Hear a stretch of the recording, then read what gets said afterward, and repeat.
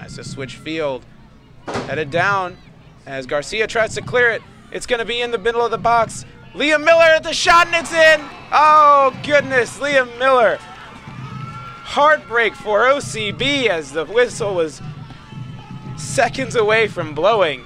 And Liam Miller finds the top corner of the net